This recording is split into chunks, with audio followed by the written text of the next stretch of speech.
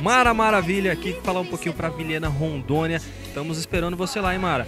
Mara, você falou aqui do Teleton mais uma vez que é 33 milhões. Mas só lembrando que o Teleton para doar não é só nessa época, né, Mara? Não, não, são 33, o que eu já determinei.